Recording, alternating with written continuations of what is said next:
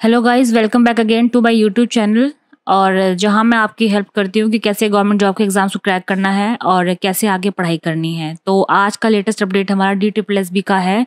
जैसे कि मैंने पहले बताया था कि आपका एग्ज़ाम अक्टूबर नवंबर में हो सकता है तो नवंबर की इसकी डेट आई है? डी ट्रिपल एस बी की D T C junior clerk तो यहाँ पर आप नोटिफिकेशन देख सकते हैं।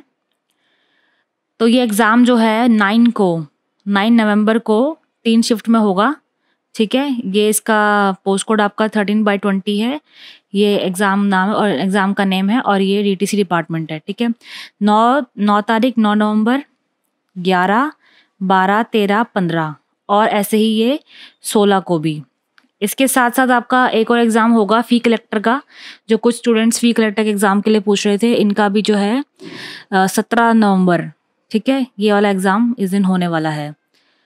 और ऐसे ही एटीनथ को, यानी कि थर्सडे को फ़ी कलेक्टर का टेक्निकल असिस्टेंट का, और ये शिफ्ट वाइज हैं, ठीक है? वन टू थ्री तीन शिफ्ट्स में हो सकता है। बाईस को भी है ट्रेन ग्रेजुएट टीचर के लिए, और ऐसी फ़ी कलेक्टर का बीच बीच में एग्ज़ाम्स डाल रखे हैं।